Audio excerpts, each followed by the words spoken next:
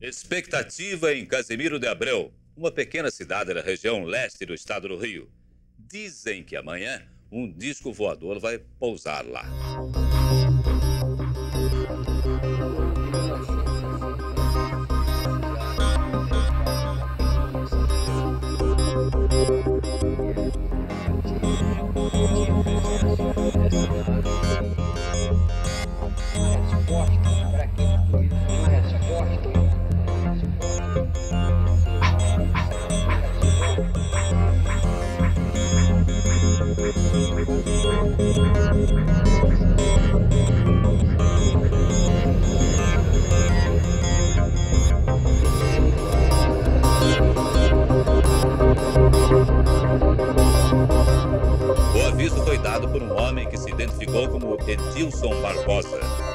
Ao prefeito que um disco voador de Júpiter ia pousar na fazenda Nossa Senhora da Conceição, a 10 quilômetros do centro da cidade.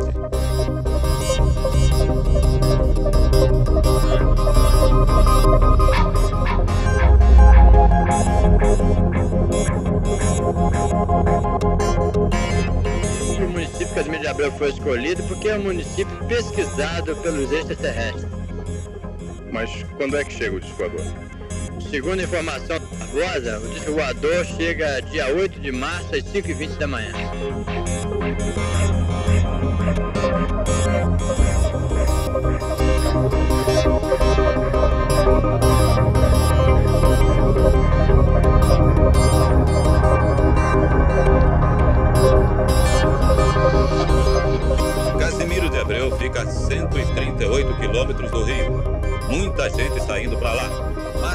População está dividida. Uns acreditam, outros não. Você acredita em disco voador? Acredito. Você acha que vem um? Acho que vem. Eu nunca vi, né?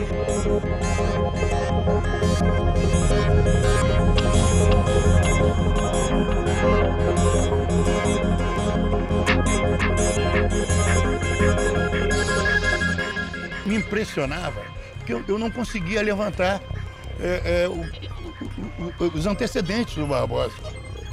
Por mais que eu quisesse, a mulher dele também.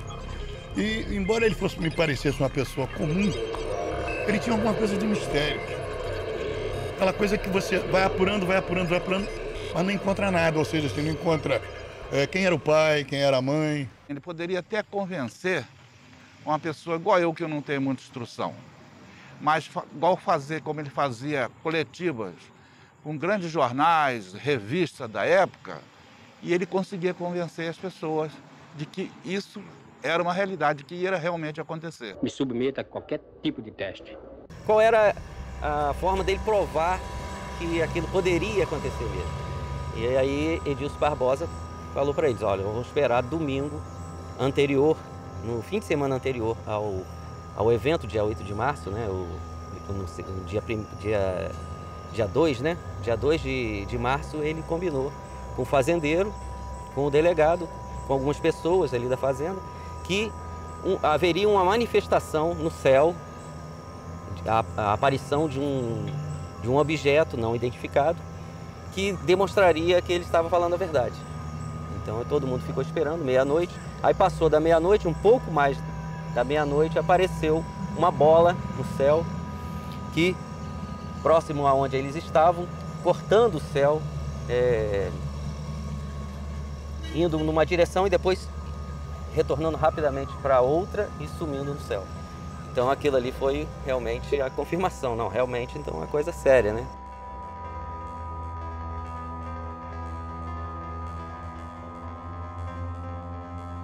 O dono da fazenda diz que já viu um disco há pouco tempo. Aonde que você viu? Ali naquela mediação, naqueles morros lá, sábado, Que horas foi isso? na meia-noite e 15 mais ou menos. E onde é que o disco voador vai posar aqui? Vai posar aqui, ó, entre essas três árvores ali, ó, duas carrapeteiras, uma jaqueira ali. A princípio eu não acreditei, mas fiz uma matéria não muito grande, mas o jornal entendeu que deveria dar capa dessa matéria foi dada uma chamada na capa de um dia e da notícia. A procura por essa matéria foi impressionante. Isso despertou a atenção de todos os jornais, de todas as revistas, é, das emissoras de televisão.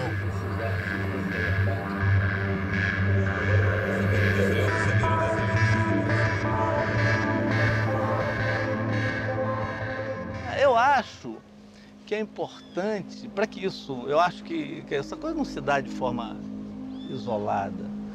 Na época, você tinha atrás de você uma ditadura recente de mais de 15 anos. Era muita repressão, era, era, era difícil você viver, era difícil você se encontrar com as pessoas. Então a gente ia, por exemplo, na faculdade, e aí de repente um colega de turma não está mais, você não sabe se ele foi preso, se ele está clandestino, se ele morreu.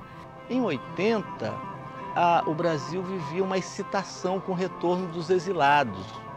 E a esperança de você viver uma nova etapa é, democrática era era muito grande. Mas o que, que isso tem a ver com um evento, digamos, relativamente alienado? Não, cara, foi a primeira vez Pô, você estou falando de 80, né? Foi a primeira vez que você teve uma reunião de pessoas que se deslocaram quilômetros é, é, com um arco tão abrangente.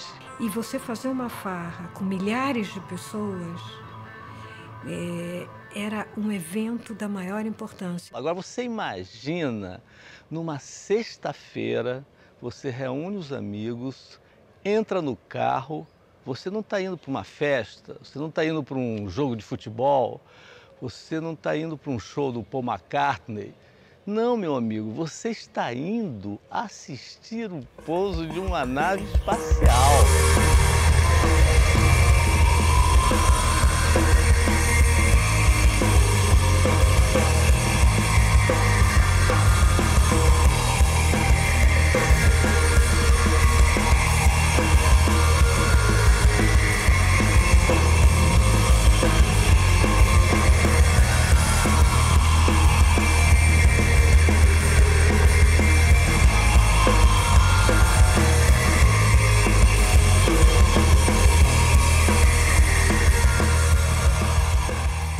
Nós temos ali onde o Edilson ficava situado, fazendo contato com, com os ETs, hoje a gente tem ali um curral, tá? ali as três árvores preservadas. Ali ninguém poderia entrar, só o Barbosa ficaria ali meditando.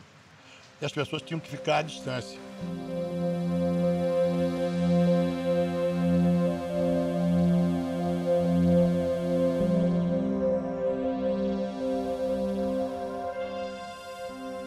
A Prefeitura de Casimiro de Abreu comprou uma enciclopédia Barça, na época. Essa enciclopédia, se os extraterrestres viessem mesmo, seria doada para eles. A prefeitura mobilizou cerimonial e tinha um ritual, uma programação que teria que ser feita. Os caras chegariam, entendeu? Seriam recebidos, subiriam no, no carro de bombeiro iriam até o centro da cidade de Casimiro de Abreu, participariam de um café da manhã. O que seria um café da manhã de um jupiteriano? Que inclusive tinha, um jornal da época publicou, os Dez Mandamentos dos Extraterrestres.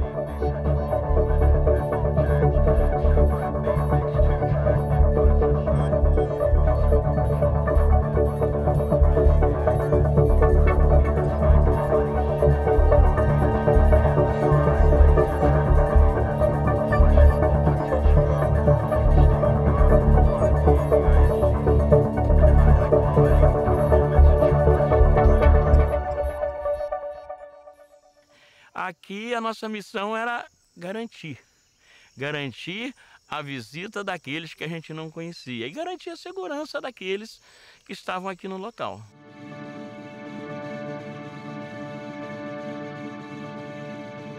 Era muita gente, tinha gente velha, tinha criança, tinha jovem, tinha doidão, tinha gente da Zona Sul, tinha gente de muitas partes do Brasil chegaram vários órgãos de imprensa do mundo inteiro. Canadenses, era pessoas de, é, argentinos, uruguais, era várias pessoas de vários lugares mesmo. Inclusive um, uma equipe de investigadores, de pesquisadores da NASA. Muita música, muita. Mas tudo música calma, né? Porque barulho, nada disso, porque ia espantar os ETs. Então as pessoas namoravam no caminho até chegar lá, bebiam cerveja, queimavam fumo. Todo mundo assim em um clima festivo e de muita paz. Parece brincadeira. Muita gente sem confusão nenhuma, em um clima de muita paz, de muita tranquilidade.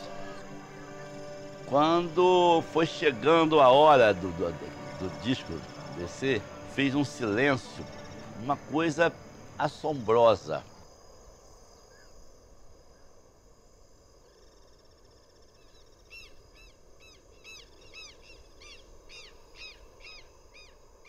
Aí passou um pássaro voando que foi evidentemente aplaudido pela galera né, que estava lá sequiosa de ver alguma coisa voando. Né? Um pássaro já estava bom. Né? Eu nunca tinha visto um pássaro ser aplaudido.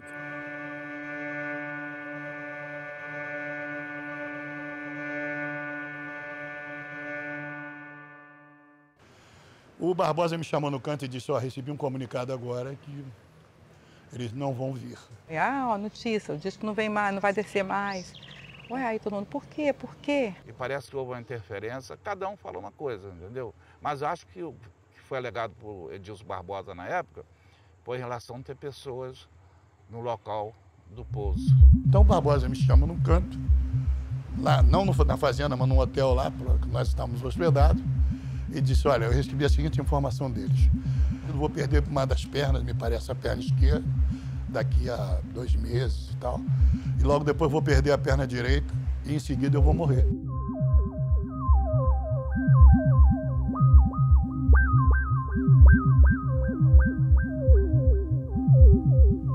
Ele perdeu a perna esquerda. Gangrenou a perna esquerda e tal, perdeu. Depois ele perdeu Tempos depois ele perdeu realmente a direita e tempos depois a esposa dele me avisou, a Barbosa faleceu.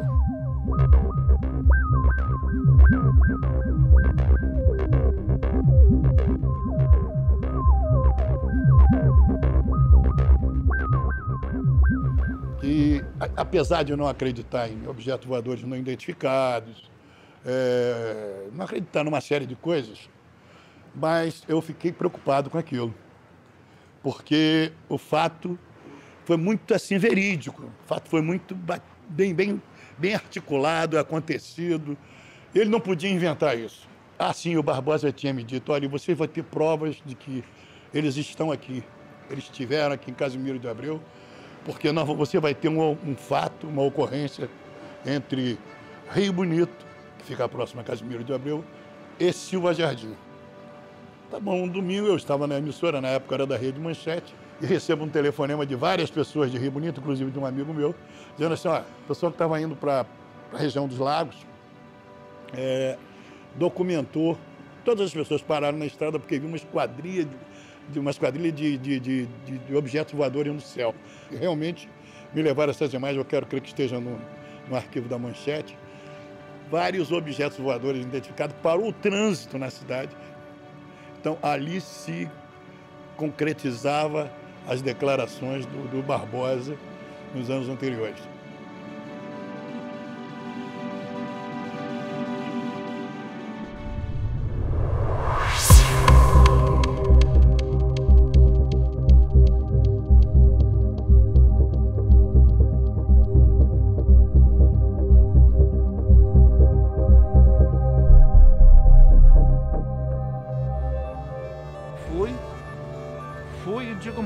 Tivesse de novo, eu iria.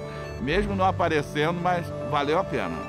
Foi uma noite maravilhosa, foi uma noite de, de, de, de bate-papo, de, de, junto com amigos, de, uma confraternização. Muitas das pessoas aproveitaram a oportunidade por estar dentro do mato para fazer uns marcianos, jupiterianos, tem descendente até hoje do Casimiro. Hoje em dia a gente tem um monte de filhos de ET. O ET não apareceu, mas os filhos estão espalhados em Casimiro. Tem muita quantidade perdida por aí. Você está tratando de um tema que tem, porra, um tema que, que, que comove o planeta Terra, farta literatura, ficção, Hollywood, envolve questões filosóficas, questões é, políticas, né? questões religiosas e de repente uma missão extraterrena de Júpiter escolhe o remoto município de Casimiro de Abreu para iniciar a sua incursão no planeta Terra é de lascar, né? Talvez a gente pudesse estar pensando o seguinte: será que um, um, um,